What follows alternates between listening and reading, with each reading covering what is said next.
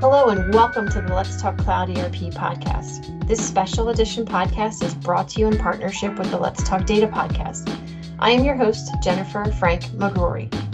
We have a great conversation planned for everyone today. In just a few minutes, I'm going to hand the microphone over to my esteemed colleague, Terry Penner. He's going to host a conversation around the topics of extensibility and clean core best practices. I will be back as your host in just a few weeks with new stories I'm currently working on. Until then, let's get rolling. Welcome, Terry. Take it away.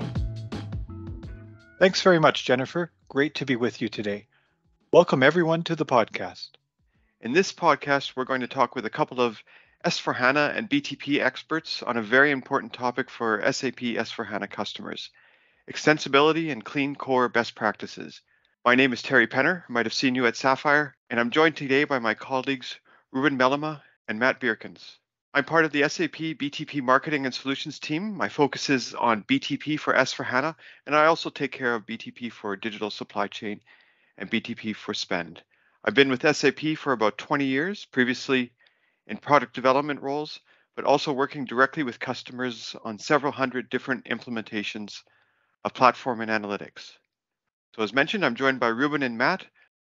Hey all, uh, my name is uh, Ruben Mellema. Uh, I'm part of the Global Solution Management Organization for SAP S4HANA Cloud Public Edition. Uh, and with that, I'm focusing on the extensibility and integration topics, um, either within S4HANA Cloud itself or where we uh, introduce the SAP Business Technology Platform, our BTP, so our PaaS platform as a service offering, um, which tightly integrates into S4HANA Cloud. Matt? Thanks, Terry, for uh, for having us on the podcast. So my name is Matt, indeed in a similar role as, as Ruben, so S4HANA Cloud Public Edition Solution Management, uh, and similar to Ruben, really focusing on those customers that really struggle with, I'm going to S4, I have something that I need to deviate on, I need to some extensibility, what are the options and what can I do? So that's really where my role also focuses on. Perfect. So let's get straight into it. So the two topics we're going to talk about today are about clean core and extensibility. And we'll cover best practices and use cases. We'll talk at a practitioner level here.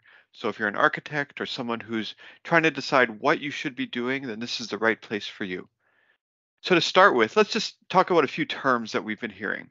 So what does clean core mean? So maybe I'll I'll put something out there and then uh, Ruben and Matt, you can tell me your thoughts on it. So to me, clean core it's a it's a methodology. It's a way of doing things so that extensions are kept very separate from the SAP application. So that every time when you do an upgrade when a patch is deployed to your S4 system that the specific extensibility things that you've done that are needed for your business aren't touched. So you can upgrade with confidence but still keep those special things that you need Ruben, what what are your thoughts on on clean core and how have you seen it in action? You know, in the past uh, with legacy uh, systems, whether it was SAP or any other vendor, a lot of times the customers had certain requirements that were not part of the solution uh, solution offering. And what they did at that time, they were just simply modifying the core code from that particular vendor or supplier uh, to actually adjust it according to their needs, right? And by adjusting, I mean modifying. So they basically changed the core delivered functions, core delivered uh, software uh, according to their needs. And of course, it worked at that time, but it for sure also gave a lot of issues during upgrade cycles and potentially uh, customers were on legacy systems for years. while the feature that they actually built in was actually now part of the standard software. And now in the new, let's say, S4HANA Cloud concepts, we work with these best practices, so what we call scope items. And these best practices uh, we deliver out of the box. Uh, those come with uh, automated test scripts. Uh, we have a lot of process flows automatically covering that end-to-end scenario, uh, which then covers um, a piece or, or most of the scope required from a customer perspective. Now, there is a piece of scope that might not be part of the standard offering, which either is differentiating them in the markets, uh, or you know we've we thought about that functionality and we are currently building that or building that in the future, so it's part of the roadmap, right? Um, which then makes the full scope available to the customer in the end. But the, the core thing here to understand is that you're not modifying the core system anymore. So you cannot touch the core objects delivered by SAP. You can only extend it. Um, right. Matt, what's what's your thought on this? Yeah, it sounds about right. Yeah, and also in the beginning, I think there you're also spot on.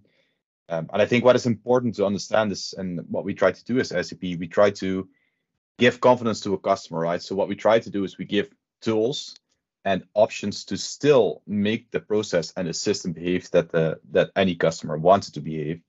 Um, with those fixed points that we take care of the full life cycle, right? So if you go into an upgrade, then we take care that it still works. It might not always be 100%, uh, but we try our very best to make it backwards compatible and to give the customer the maximum freedom of still deviating whilst still having the benefits of still doing extensions and keeping the core um, yeah stable and steady and yeah running as it should run even after an upgrade.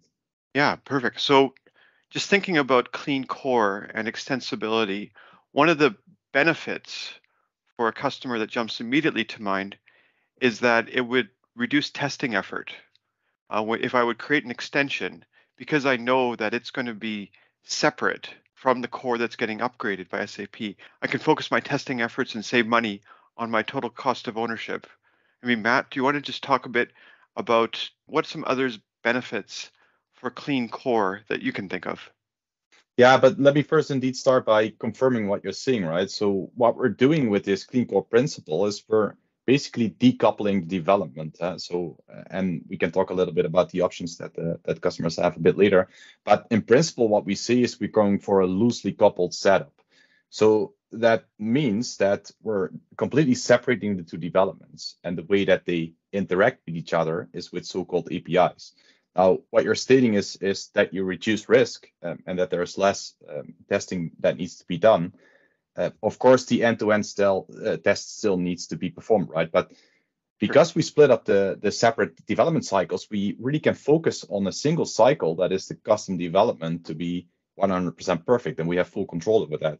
Um, now, the only thing that we then need to test after an upgrade is, of course, that API. So that's really where we still bring in that st- stability. And as to what we take care of is backwards compatibility of the APIs, but we also indicate, listen, even in the uh, if an API is going to be changed or it's going to be uh, deprecated or something like that, then of course we indicate that as SAP, uh, but we also give the customer enough time to be aware of the situation and to handle and make sure that the correct uh, solution is is going to be uh, brought in place. Right, and and Ruben, just thinking to a, a little bit more on that. Like one of the key benefits of Clean Core and how we're doing extensibility now is that it can be very modular. Maybe can you just give an, a, an example of what this could look like, Ruben? Say maybe with data custom fields or something else that you that really would benefit from using Clean Core with S4 um, and BTP? Yeah, yeah, for sure, Terry. And I think in addition to to what, what you guys were just mentioning, right? I think it's also time to time to innovation, right? So in typical systems, it was kind of hard to keep up to date with the latest innovations um, because of those modifications and changing the core code. Now, if all the latest innovations get pushed to you automatically, and because you have that extensibility pattern and the whole clean core uh, methodology applied, then um, you can immediately leverage or use those innovations right the moment they become available in your system automatically, right? So the moment we upgrade the systems, that innovation becomes live, right? So to just give you a practical example on that, like uh, AI, right? AI is a huge topic now in the world. Um, I think there are endless possibilities with it. SAP actually has AI capabilities embedded in the best practice solutions. And even, you know, when all of this ChatGPT stuff and all the other things came out, um, you know, SAP also uh, provided things like the digital assistant that you might have heard about at Sapphire. Um, those solutions will become come out of the box with S4, right? Uh, so if we release a new version of S4, then all those innovations will become part of that system. So the time to innovation, uh, it's making you highly competitive in uh, in the market.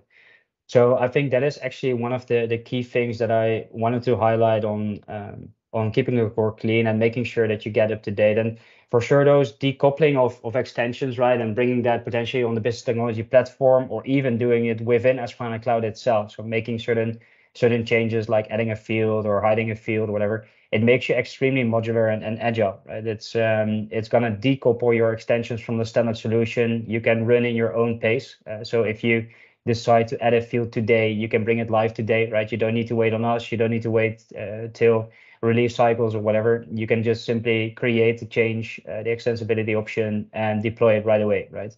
And the cool thing is that it's all also working with low code, no code toolings, right? So there's not even coding uh, uh, involved to, for example, add a particular field. So if you have a custom field that you want to create, you can do so with low code, no code capabilities. That actually means that a key user a business expert can make those changes in your system automatically, right? And that all works smoothly together with the key, the clean core message. So just thinking a bit more about clean core, can you talk a bit about how it's different between public edition, so S4HANA public edition, and S4HANA Cloud private edition. Maybe just quickly introduce what the differences between those two editions are as well. Yeah, so S4HANA public cloud comes with a lot of best practices, right? So these are the out of the out of the box capabilities that we discussed earlier. Uh, private cloud comes also with a lot of functionality, uh, but not all of those functionalities will have these best practices. And with keeping the core clean, it also means that the best practices in public cloud, um, you can make use of uh, certain extensibility options that we will discuss later. Uh, but you can basically not enhance or adjust the core code from SAP. Now, in a private cloud solution, you technically could, but you should not. Okay. Matt, anything else that you can add yeah. to that? Yeah, I think that's spot on. Eh? So for net new customers, eh? so really starting on the journey with S4, then uh, it is what it is. It is what the options that we give to them. But especially for those customers that are in a transformation and already have a system, that is really an interesting part, right? Because they are sometimes struggling with, listen, I have a lot of custom code. What do I need to do with that custom code? And that is one we can see. We have a couple of options. Those can be like the older options, which might not still be entirely clean core. Um, but that option is still available in private cloud edition. In public cloud edition, that is a, a no-go. So that simply doesn't happen anymore. Um, still, we have options and and things we can do to also handle those situations. Um, but I think it's important to state that although we go to a clean core uh, and we have a specific way of doing that, even with ABAP cloud coding, uh, there is still a way in private cloud edition, um, yeah, to keep a little bit of that old coding if it would be required. Uh, but again, as Ruben said, it's not what we advise customers to do because of all the reasons mentioned. Uh, it is still an option though. So just before we get into our different extensibility options, which does relate to clean core, let's say someone, okay, they, they really want to go on the, the clean core journey. So maybe they're an existing customer who's created a bunch of ABAP extensions what should they do first? What would be their first step? Maybe Matt, you want to take a go at that? Uh, and then you're talking about an, uh, an existing ECC customer, I think, right? That's right. Yeah. Okay. Well, an existing ECC customer, what we can of course do, and this is often what we do in what we call the RISE transformation. Uh, so in there we have uh, one of the components that we have is a custom code migration workbench, and that is actually a very useful tool that you can pick up uh, you can enable on your system. It's either going to run in the cloud or you can install it locally. Um, and what it will do is it will pick up all of the coding that you have introduced into your system, and it will you will get a little bit of help on segmenting that code, and then it will give you advice on what to do with that code. Uh, and there's a couple of options there. One of the options could be, listen, this code has not been used and not been touched for a long time, so better say goodbye with this code. Uh, an option can be, listen, this is not compliant in the newer system. Um, uh, but we're going to help you, and we we can uh, mass apply changes to those uh, those uh, developments. Um, and then, of course, we have specific things where we need to say you need to cut this out of the system uh, because it doesn't really touch the rest of the of the platform, uh, and it's better to move it across into what we call the business technology platform because that is really when we start talking about the clean core. Um, and that tool, the custom code migration workbench, is actually the perfect tool to guide a customer in that journey. Great. And and Ruben, can you talk a little bit about how BTP tools? I think you touched on it previously before a little bit, but um, like the low code tools or process automation, how those help customers, maybe with an example for uh, for that clean core journey. I think we will also touch on that in the in extensibility in, yes. a, in a second. Um, but what we typically see happening is that if a change like Matt actually explained, you can better take out of that core and decouple that from the standard software, right? Then you actually take that to the typically to the business technology platform, right? So to the BTP, SAP Business Technology Platform, BTP. And on BTP, you have a lot of different services. And uh, one of those services to actually leverage low code or no code toolings. Uh, so what you see is what you get editors. Uh, things to actually create, for example, new applications, uh, really with drag, drag, and drop, configuring that very easy. Um, and then connecting that to s Cloud uh, to actually get data out of the system or push data back into s Cloud. But you also have the option to indeed leverage process automation to automate certain manual tasks. Uh, typically, uh, things like, um, for example, you're reading through an Excel file, uploading that into s Cloud, whatever. Those kind of things that are automating certain processes can then also be leveraged on the business technology platform, but then tightly connecting that back into s Cloud, right? Um, you also have on BTP another alternative option to actually go pro code, so really writing lines of code. And if you're then leveraging the SAP UI5 uh, SDK, so the software development kit, to actually create these Fiori applications, you can then even deploy that back as a tile or as an application within s Cloud. So from an end user perspective, they do not even recognize whether you actually leverage the core uh, s Cloud system or whether it's actually an application uh, built by either you or, or a partner uh, on BTP, right? So you actually deploy it back into s Cloud, and that is that's extremely well received yeah so that, yeah. that would be my my take on this. Yeah that makes that makes a lot of sense. And just thinking about maybe a specific use case with build apps for example could imagine you know using build apps for a user experience workflow that connects maybe Ruben or Matt is there a specific example that you've seen um, around like user interface extensions? Yeah so I was actually talking to a professional services um, uh, firm uh, one of the big five, and they had a specific process about uh, project discounts, right? So they actually wanted to give the full project like a five or ten percent discount. And in the core S/4HANA Cloud system, what you would typically then do, you would go into the project, you would then actually go into the WBS elements, so that those are the work packages. And those work packages then contain these people who are staffed in it with certain rates, and those rates you want to provide a discount on. Now within S/4HANA Cloud, you have a um, a section for that uh, which allows you to actually set those prices per hour per pe- per person who is actually staffed on that particular project. Uh, but this particular firm, they actually wanted to apply a mass discount on the project, right, to automatically uh, decrease the values or increase the uh, the values with a certain percentage. And you can then do two options. You can either build that within s Cloud itself, um, either uh, with well, actually there's coding involved if you want to go go that route, um, but there's an easier option to actually build this on a business technology platform, leveraging these low code or no code capabilities, or if you like, pro code capabilities.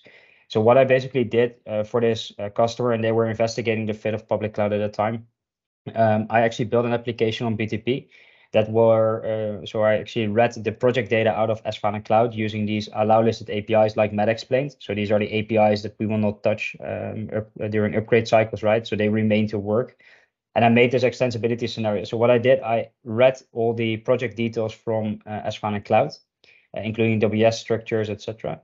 I was actually then also reading immediately the people who were staffed on that with their particular roles, and then with that also their rates. And what I then did, I built an application on BTP that were actually displaying all of those values. And then on the top of that screen, there was a small little input field that actually said, what is the percentage of discount that you want to uh, apply? And if you would then say, okay, I want to have a 20% discount, then what it would actually pick, it would pick the rates of all those people. It would apply that 20% discount. And the moment the teams were actually hitting that submit button, it would then actually automatically create the condition records in S/4HANA Cloud uh, for all those uh, project specific prices per hour for the people who are actually staffed on it, right? And that actually covered their scenario. So they had like a very good fit for public cloud edition at the time. Um, but that the only remaining part that was actually missing functionality was that actually that project discount thing.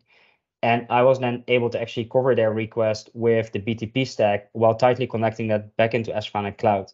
And that is extremely powerful. And with that, I was just extending the core system and not modifying the core system. So that actually means that I fully decoupled that application, fully decoupled that process. Uh, but I still deployed it back into S/4HANA Cloud. So it was actually then still part of the end-to-end process within S4, but it was actually built and um, and developed on on um, the business technology platform. So that would be one of my key takes on that. Great example, um, Matt. did you have a, an example Yeah, as well? To, Yeah, maybe to add to that, because uh, we also have what we call the SAP Discovery Center. So it's sap.com slash disco.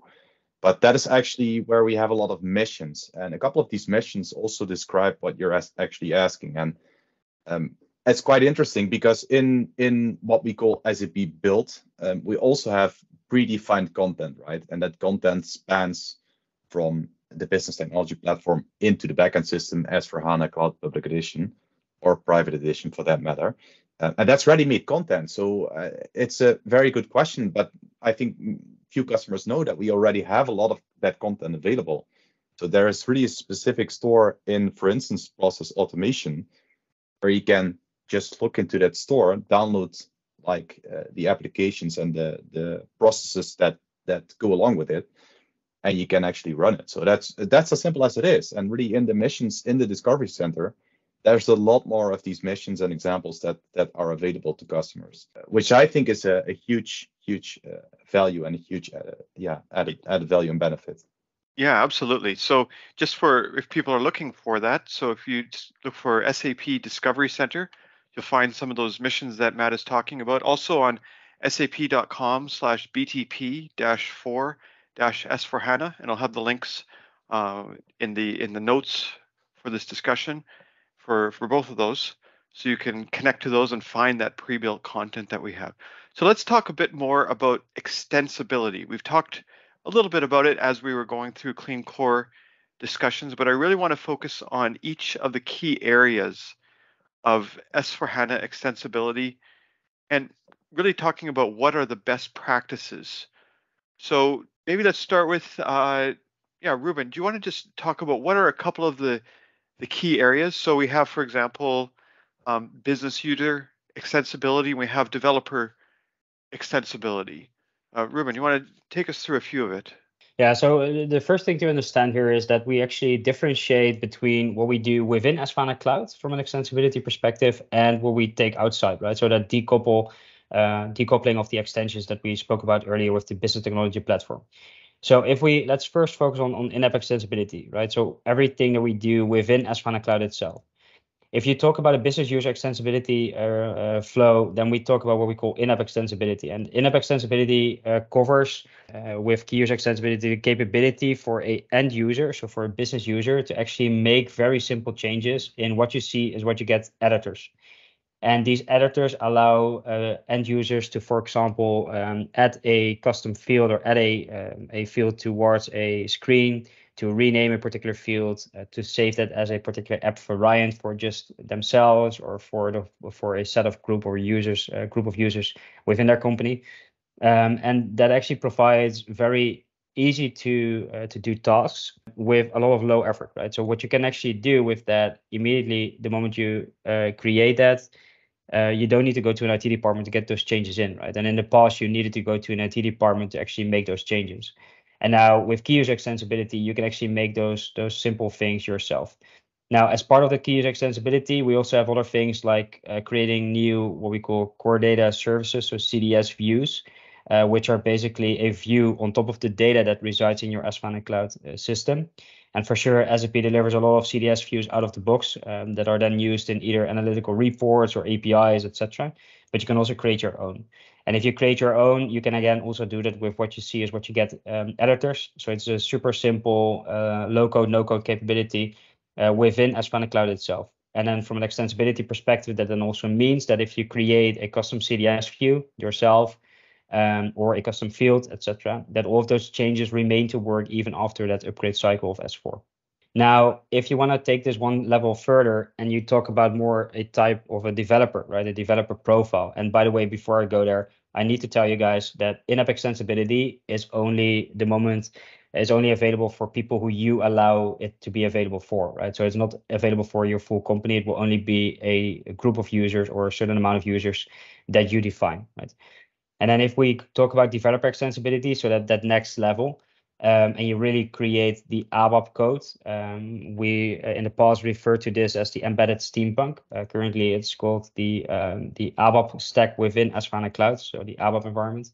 Um, you can make these changes with the ABAP code, right? And really writing lines of code, but only on released objects. So we release uh, a lot of objects um, that you can actually then extend leveraging developer extensibility. But again, you do not modify the core of SAP with that. Great. Yeah. Um, and just for looking at at the I think what we call key user extensibility.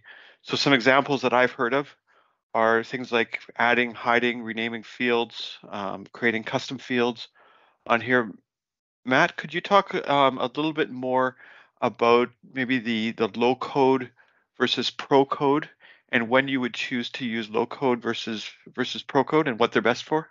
Yeah, a good question. So yeah, I think uh, if we look at it from a very high level, right? I mean, every line of code that we have to write um, yeah, it turns out to be a lot more expensive than if we talk about uh, code changes, right? Or what you see is what you get changes.